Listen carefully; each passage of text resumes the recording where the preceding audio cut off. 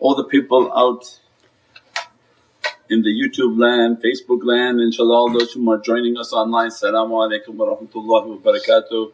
We see all the comments, all the, the, the emojis, everything, Allah bless you, dress you. Thank you for participating, thank you for participating in everything and every platform. And we describe many times that we review everything, look through everything and so alhamdulillah always continuously praying for all those whom are participating and actively involved and also praying for those whom are sitting in the shadows and hiding to come forward.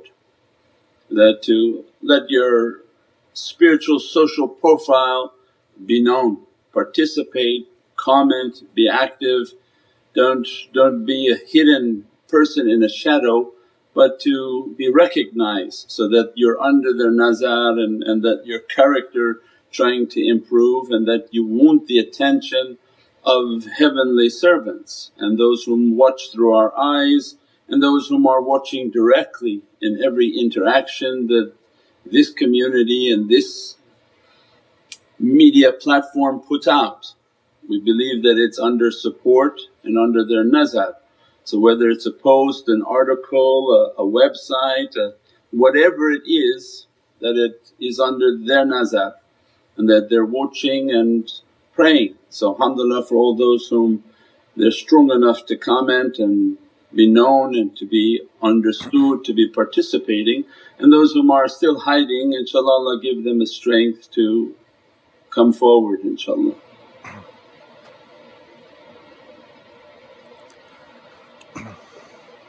Uh, As-salamu alaykum Sayyidi. Walaykum salam rahmatullah. Sayyidi, uh, how can we tap into this 70 trillion of volts of energy that Allah gave us? Hmm. That was the, the talk on the, the 90 trillion volts of energy running through the body that scientists are now admitting. And they're baffled that where's all that energy? When they know that one has 1.4 volt and 70 trillion cells so the collective whole should have upwards of 90 trillion or whatever the calculation is volts. Where, where is it? Until they come to the realization of what the concept of shaitan is or nefarious beings. And Allah has given to us in Ayatul Kareem that I have atta- attached a nefarious jinn to every human and that was the concept of the regulator. Because Allah didn't want us coming to earth and using superhuman powers because we are heavenly beings with a tremendous amount of ability that Allah granted to us, وَلَقَدْ karamna I have honoured you. What, what karamna? It can't be accounting, it can't be because we have the ability to eat and, and drive cars, that can't be the honour Allah's talking about. But the immense power within the soul and the ability of the soul and the immense ability of movement through the world of light and, and, and all the all the talks, all of them collectively are yet a drop in the reality that Prophet to disclose. So that immense power, how is it to be achieved? Allah didn't want it everybody just to come to earth and use superhuman powers so attached the shaitan to everyone which we consider to be like a regulator. So our whole life is about how to reduce the effect of the regulator and increase and go back to the origin of our power. And that was with the understanding and the hikmah of good deeds is that every day I plan to think, what am I going to do for the power of my soul? And the actions that I take so that my soul will have power. When I pray at the end I meditate and connect. Uh, when I do my zikr meditate and connect. When I do a good deed or hand out meditate and connect.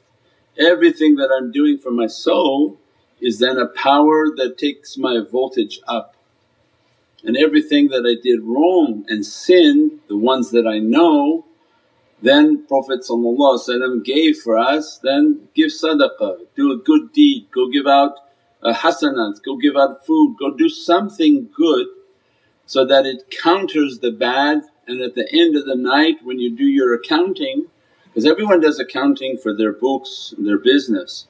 Because imagine running a business in which you lose every day, uh, probably 90 days you would be bankrupt. So nobody runs their life losing every day, that you work at a job in which you can't pay any of your bills, in 90 days it would be clear to you that whatever you did brought nothing and you're losing. But pe people don't run their akhirah like their dunya. The akhirah has to be more important in which am I running positive every day or I'm running negative. If I'm running negative I'm going to be bankrupt in six months and in the heavens you'll be bankrupt very fast because the more you go negative your character becomes negative because now you have no more positive energy. So within 60 days of 90 days of extreme negativity the negative energy will overwhelm your choices, your desires, your foods, everything about the individual until they talk bad, eat bad, think bad and begin to act extremely bad. So that's the same concept is that we have to take a hisab and accounting. Every night did my count go up? I did some sins, did I cover those sins with sadaqah, good deeds, food and istighfars and anything that I can do of a good deed for the goodness and hasanat to come and to overwhelm the negative. If I'm running positive daily then you should begin to feel a tremendous amount of energy. And that's why then they meditate and contemplate and those whom they're serious in their meditation and their connection they actually feel it. When they're good and their character is good, they feel the faiz is dressing them and blessing them. But if they start to do bad things they feel ashamed to make that connection. And they know that the things they did wrong they can't connect because they feel ashamed of what they're doing or what they've done. So it means this is a very real process. When they have that positive energy they're feeling it, they feel the immensity of that energy, they keep their hisab, they understand when they have to take their account back up, they understand how they have to account and, and cover the negative charges that came onto their account. So alhamdulillah this is a servant and a rijal whom takes a hisab and takes a, an understanding of their path. And because they're sincere in understanding themselves you can see how they're gaining sincerity with Allah They're not heedless, they're not op opening just to stand on the side of a corner that they're actually running this with all good intention. As a result they become more and more sincere because Allah wants to see can you run your own shop before He allows you to run the whole shop, right? People want to achieve sainthood or, or high degrees or high positions for what? Well Allah's going to allow you some sort of governance in His kingdom. But if you can't run your own kingdom and you're running it bankrupt and shaitans have overrun everything, how He's going to let that servant to get involved with His kingdom? So Allah gave to us a lesser kingdom within ourselves that has to be governed correctly and with sincerity then Allah opens for the heavenly kingdom inshaAllah. And that was in Surat al-Yusuf that we talked about. That first he had to gain the control of his own kingdom and not be overtaken by his desires. Then Allah gave the greater kingdom in which the sun and the moon were subjected and made sujood inshaAllah. this is a long question Sayyidi. Long question. Long question? Yeah. As-salamu alaykum Sayyidi. Walaikum salam. Uh, this man from Zimbabwe developed a green energy which he asserts is revolutionary because it converts radio frequencies directly into clean and renewable energy. For example, to put this technology into a car making, it is the first electric car vehicle that converts radio frequencies into energy In other words, his electric car does not have a recharging. Would you please explain us uh, in the world of light the benefit or like that? Benefit of that man's invention? Related to energy. Yeah, we have, we have to call that man what he invented or or what his technology and uh, again these are you know internet stories it could be true could be some some truth in it could be very truthful but the main concept is that energy is free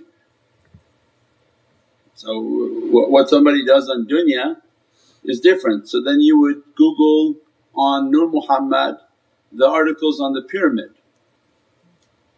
if you understood the articles on the pyramid Allah sent us down with free energy. You know why Sayyidina Musa was not allowed to leave Farum? Because Musa represented lightning. He represented a knowledge of energy in which he would cast their kingdom into darkness. And Pharaoh was not uh, accepting of that reality that you're going to leave and cast my nation into darkness. So then the essential role of the pyramid is not based on the architecture of the chimpanzee, chimpanzee people.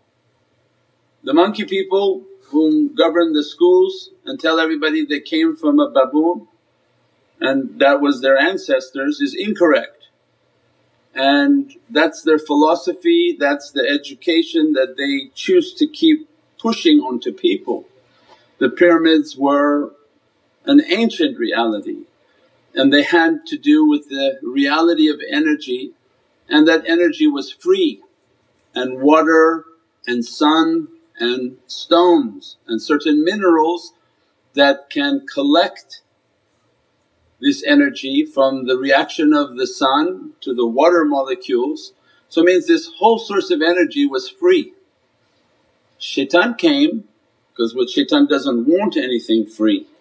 Shaitan came and invented for these people a system of petroleum and anything related to petroleum is satanic. And any byproduct of petroleum has shaitan's involvement in it. So it means that that whole system was shaitan and how to bring in a power based on petroleum and how to make engines and devices based on combustion and explosion. So they want to explode something to make an energy, use that energy to use it for a car, the engine, the pistons of an automobile if anyone knows how those systems work. It's based on the explosion of energy and that's so that they could capitalize, monetize and then sell it to people. And the system of dunya is to take things and sell them to people by which you can control and own them and, can, and manipulate. But anything from Allah is free and the greatest source of power is the sun. And the sun's reaction to water and the release of, of the elements and electrons from water and that these pyramids were based on specific stones and, and granites and different stones that would capture these energies, harness the energy and then they would be able to use it, store it and then move it like a big battery system. And the whole of the pyramid and all its technology had to do with the top of the pyramid, the capstone and that was the sort of plug and the reality of that power. So all of these realities of energy are free and if they begin to find a heavenly and divinely inspiration they'll find that energy is free and it's harnessable and usable. And that's only at a time when they want to take away this system of oil and petroleum. Now their economy is based on petroleum, their power is based on petroleum, their wealth is based on petroleum. If somebody came and said, well we can actually make a car from water well that person probably wouldn't survive on this earth mm-hmm. because you're talking about all the industries and banking and financial centers that would collapse as a result of that, nations would collapse. So anything from Allah is free. As we get closer towards these days of technology many of these free energies begin to enter into this realm and that becomes a sign of the collapse of, of a petroleum based life and that has to do with the events that are coming onto this earth inshaAllah. So alhamdulillah the most powerful energy to focus is the energy that comes to your soul. That's, that's nothing more powerful than a soul. Means the amount of energy and the infinite capacity of that energy from Allah's power oceans is immense, immense. Its ability and what Allah can unlock of the reality of the soul. So that's what we should be sort of focusing, trying to harness that reality, how to make the connection with the shaykhs that are a source of free energy. Means that this teachings is like thinking about how am I going to connect to the sun and be a, a satellite system and how am I going to get my satellite dish to receive this energy that's coming from the heavens. And as much as you can receive it you have to have a stronger capacity to receive and to store. So we talked before the cellular and what they call solar dishes and solar systems for your house why they didn't take off so well before is because the technology for batteries was not very good. Imagine capturing a whole bunch of energy in California and all day long you catch this energy and it just goes to nothing. You just use some of it but you can't store most of it until Tesla began to bring out his battery technologies. So then what made that whole system successful now is the battery storage. Because now that when you're collecting, you're collecting an abundant amount of power. So much so that you can begin to use it for other purposes or to other people.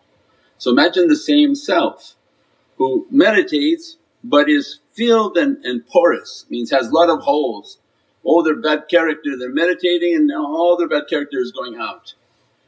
So all day long they're trying to connect this energy and all day long all the energy is going. So their capacity to store energy is more important than their ability to meditate only. So they have to have a, a clean heart, a good practice to be vigilant over themselves so as they're connecting they're not losing it every second. They're storing the energy and all that energy is building in within their reality. And that by their practices, their understanding and that Allah's watching everything. There's not a single thing that's not observed. And that's when people just really don't understand. Even when we talk to, to loved ones, still the concept that a, an angel is attached to everything. Every bite that you eat, there are angels on those bites. And those angels are responsible for taking Allah's blessing into that person, into their organs, into their being and into their soul. Everything is under the movement and the command of angels. Not a cell is moving without the command of an angel. So when we understand and truly have a consciousness of Allah then we understand that everything is under Allah's command. And He gave that whole command to Sayyidina Muhammad Sakhar lakum ma fi samawati wa ma fil wa jamia. That we have subjected to you O Muhammad whatever is on the heavens and whatever is on earth and anything between them. That's why now people when they use their phone and mobile phones they found out, oh all these software companies know exactly who you're talking to, who you're texting and what you're doing. Because every app has a back window to another company that watches whatever you're doing. Well Allah knows all that. Everything in, in somebody's body is being observed. Every movement, movement of every cell is under command and nothing can move without that command. Nothing can enter something without Allah's command. So it's the immensity of that governance and that power and the izzat and might of Allah when the servant becomes more attuned in their tafakkur, right? Because if they're heedless they don't understand what that means. But when Allah opens their spirituality, their micro understanding becomes very intense. Means to the smallest minute movement they understood that Allah is might and majesty over it and nothing, nothing can move without a command. And that's why we, we give the example but I don't really think people understand. If you imagine a room filled with like a toy set, the electronic toy set where everything is moving electronically. But in this game the electronic movement is based on Wi-Fi, there's no wires. So this Wi-Fi is touching everything on this game and these cars are all moving, they're powered. If you turn the power off none of the cars can move because there's no power source coming to them. But the power is coming wirelessly like a Wi-Fi signal into the entire game. As a result all the cars are moving.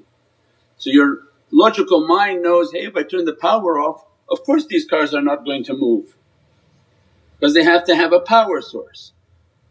But when it becomes so advanced that your power source is wireless then it becomes, aha wow look at that, yeah. And if we cut the power source nothing will move. Do you think that there's anything in you moving and if Allah cut the power it has an ability to continue moving? No. Why, why would a game or a toy that you make move without power? Everything and every cell and every movement, everything in existence is moving because a power and a command is coming to it. The cell is under a command with a power, a Wi-Fi power coming and telling that cell what to do, where to move and how to move. So everything is under Allah's command. When they meditate and contemplate they begin to see.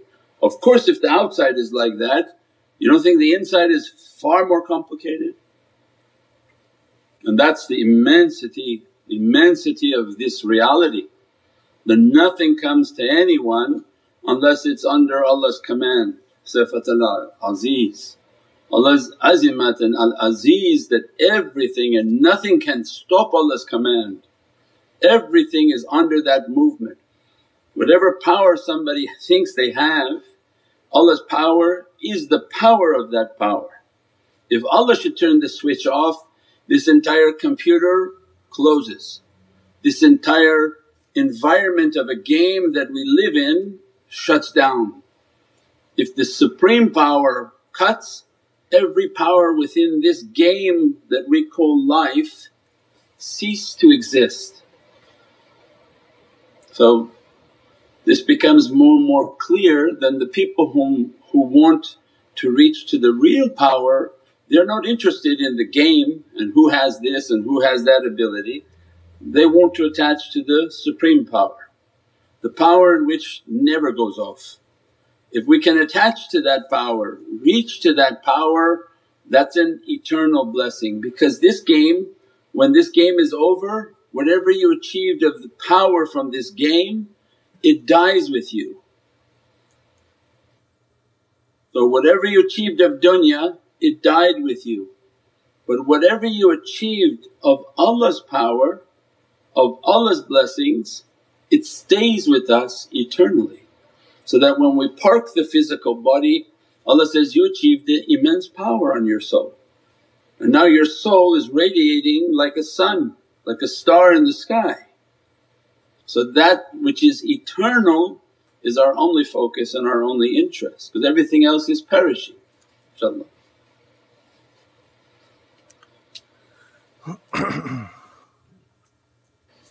Uh, As-salamu Sayyidi.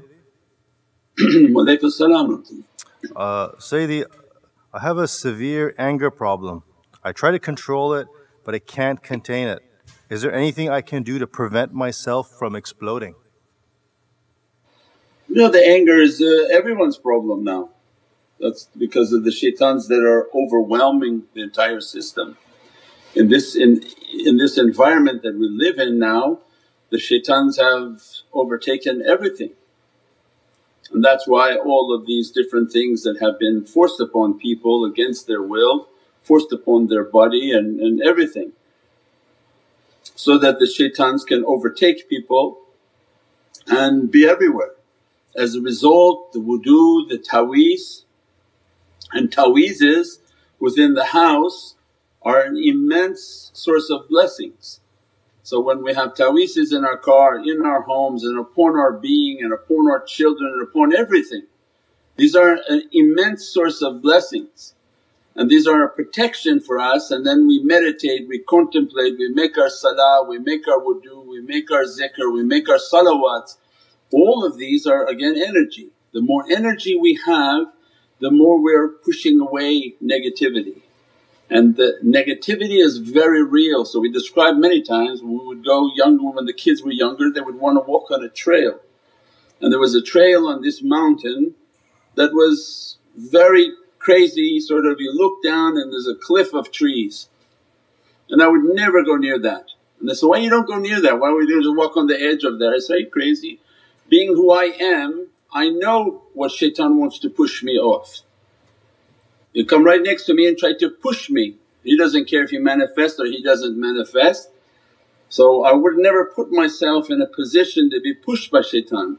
So as we're walking then shaitan pushed the mountain instead of me and pushed the entire mountain to come so that it would look like it's coming down on me and then make me to fall off the edge. But He plans, Allah plans better and something happened and it stopped before it could push me. So it means our life is very real. Anyone who's heedless of shaitan has already lost. That's why we have our taweezes so that shaitan doesn't come and push our children off a mountain or off something else. That this battle is real. Shaitan wants to push all the people off especially those whom he believes has an importance in the future. And that's why then this is a concept of being mahfuz and guarded. When Allah wants to guard the servant He sends them to a system, right? So you achieve in dunya certain wealth, all of a sudden you're sent into a system of protection. Oh with this wealth you have you need now bodyguards, you need a special bulletproof car because now everybody want to kill you for the money that you have you need this, you need that. So dunya has all of these things because you know if that person gets on a plane maybe they're going to hijack him and steal his children. So you don't think that Allah has the same system for people whom are inspired and aspiring to elevate and to achieve a higher rank of energy and you don't think shaitan is also out to destroy them, get them out of the game, to push aside their ability? And that's why then Allah sends them to assist them. Oh you're going to now go on this spiritual path then you should be with these people. They're going to outfit you with everything that you're supposed to have on this spiritual path. So your car becoming bulletproof is a taweez. So that your taweezes are on the car so that nefarious and bad energies are not trying to push you off the road, push you into difficulty, have bad things begin to come towards and the home is the same, the body is the same, our children are the same. It's a protection system that Allah has sent that be under the guidance of these awliya and their students. They've been taught, they've been stockpiling this reality and this is a ni'mat for these days of difficulty. Then they'll teach you to wash, they'll teach you how to meditate so that you have a abundance of power. In a day when everything is depleted their energies are overflowing so that people can tap into that and begin to connect to that energy. Then their salawats, their awrads and the etiquettes that they're giving is again that protection source. So they exist and it's a matter of people wishing to come and believe that they, they need to be protected and that they should uh, do the practices and the things that are required to be protected against negative energy. And unfortunately many people will experience it before they believe in it and that's the danger. They experience the horrific events of negative energy and it's better to first outfit yourself with all those protections before experiencing something and coming in and trying to get a protection. So be proactive and not reactive. But the majority of people are reactive, they don't really believe until unfortunate events begin to happen in their lives. Proactive is look nobody needs to beat me to make me to believe, I'm with you, I've got it, I'm doing it. And that becomes a proactive life in every aspect. They do their zikrs, they do their awrads, they, they do everything that been sort of guided for them. And alhamdulillah that many things become blessed for them, many openings and many difficulties and many calamities have been spared from them inshaAllah. Mm-hmm. As-salamu alaykum Sayyidi. Walaikum salam Sayyidi, do the toxic people around us work as regulators as they are always depleting us from positive energy by throwing their negative energy? I think we started to talk about something like that. Remember the talk about crazy people? That's how we started tonight. So you can't think like that. That's like again the crazy thought. Toxic, toxic people. The only one toxic is myself. I can't say toxic people, toxic people because Allah doesn't change the condition around me until I change myself. If I'm seeing these people as all toxic, toxic, toxic, one something's wrong with me. If I begin to build myself, connect myself, build the energy, build all these things, well then these toxic people have a difficult time coming around my energy. So many times they just sort of run away. They don't want to come, they don't want to look, they don't want to… so it's a it's it's a different way of thinking of everything. Don't focus on the people as toxic and uh, because then we're throwing the excuse on something else. And then we don't try to build ourselves, it's always looking for a crutch, oh it's somebody doing black magic on me. So we're always looking for an excuse to put on to people and that's why I'm not growing is people are toxic, they're taking all my energy. But that's not possible. It's not possible that if you're sitting and meditating, put your taweez, did your wudu, built all your energy, you kept to where you're supposed to, you didn't go where you're not supposed to, then you would have an abundant flow of energy and that very bad people would be repelled by you, they, they don't want to even be around you because your energy burns them. So you'd be doing everything a correct way and you wouldn't be taking yourself to toxic places because you're sitting meditating, contemplating. So then you begin to restrict the places that you go and you build yourself with the energies that you have and that becomes tariq and wherever Allah's sending you is on a mission, build yourself and be patient, be tolerant and don't look to people being bad but look to ourselves to build ourselves because that can go very bad very quickly. Because you then begin to say, well it's not me it's them. So I'm not growing because them and then you know how shaitan will play with that, it doesn't end. The person therefore doesn't achieve anything and the excuse is why? Well it's them. So that, that's not the way the tariqah develops oneself. That's the same way why we don't listen to complaining. Anyone wants to complain there's not an ear that you won't because once you give an ear to complaining the person doesn't stop it's like uh, shaitan looking for a place to, to vomit. If, if you think you're going to listen, he doesn't stop vomiting onto the person. So the, the ability to complain will never end in someone. Tariqah is about not complaining because Allah wrote your life, there's nothing to complain about it, put it in your heart and meditate. But if you find a source in which you can complain into somebody's ears it's as if throwing all these horrible burdens and then shaitan sends even more because he thinks, oh I found an ear to dump all this garbage into.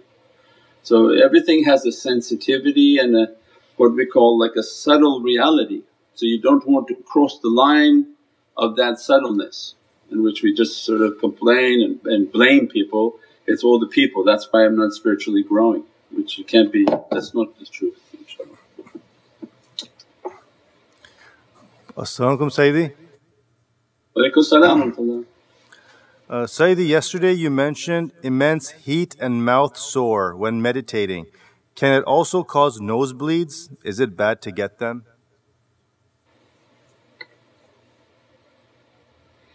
Yeah, heat and, and mouth sore is something different. And nosebleed can be one either medical, a medical condition or two that a negative energy is trying to enter and one of the protections of the body is then to immediately bleed.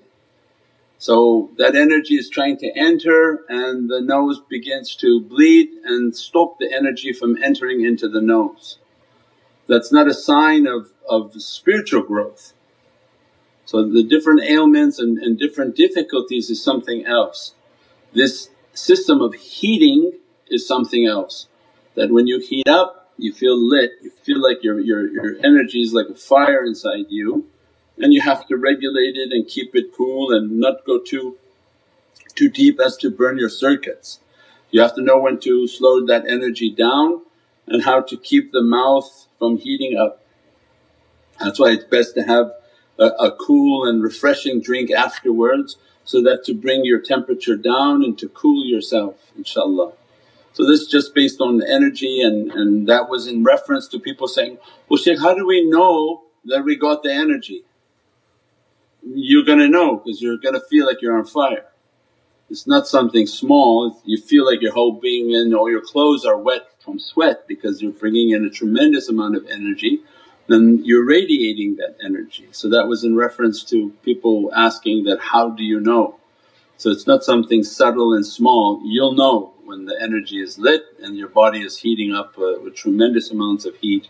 The hands are, are hot, the neck is hot, the body is sweating. So these are these are the signs of uh, energy and, and the movement of energy within the body inshaAllah. Subhana rabbika rabbil izzati amma yasifoon wa salaamun al mursaleen walhamdulillahi rabbil alameen. Bi hurmati Muhammadin Mustafa wa bi siri Surat al-Fatiha.